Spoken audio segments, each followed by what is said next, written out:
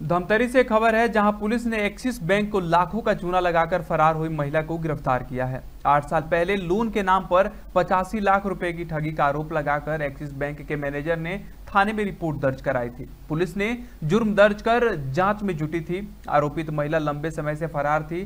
तीन सितंबर को फरार आरोपित महिला का पता चलने पर उसे गिरफ़्तार किया गया और जेल भेज दिया गया।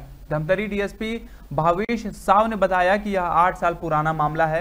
एक्सिस बैंक के मैनेजर योगेश देशमुख ने वर्ष 2021 में सिटी कोतवाली में शिकायत कर महिला उषा ज्ञान चंदानी के खिलाफ पचासी लाख रुपए का ठगी कर लोन लेने का आरोप लगाकर रिपोर्ट दर्ज कराई थी।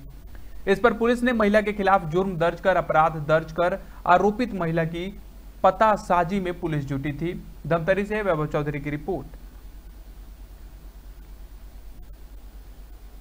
तीन नौ 2021 को एक्सिस बैंक के मैनेजर योगेश देशमुख के द्वारा एक आवेदन दिया गया था कि उषा ज्ञान चंदानी, जो कि बालाजी सेल्स की प्रोपाइटर हैं, इनके द्वारा फर्जी खाते का फर्जी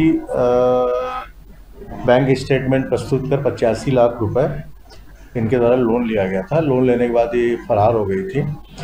जाँच में इनका जो इन्होंने जो स्टेटमेंट दिया था वो फर्जी निकला। उस पर थाना कोतवाली में अपराध क्रमांक तीन सौ पैंसठ आबलिक इक्कीस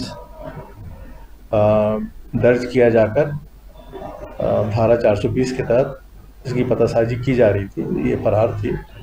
इसको दिनांक तीन नौ चौबीस को गिरफ़्तार कर जेल भेजा गया है और विवेचना जारी है? इसने अपने क्या बालाजी सेल्स के प्रोवाइडर थी, इसके द्वारा फर्जी खाते का अपने फर्जी खाता बनाकर लोन स्टेटमेंट फर्जी प्रस्तुत करके लोन लिया गया था। और उसके बाद से ये फरार हो गई थी, पैसा इन्होंने चुकाया भी नहीं। बाद में जाँच पे पता चला कि इनका जो इन्होंने जो लोन लिया था और जो स्टेटमेंट प्रस्तुत किया था वो फर्जी था।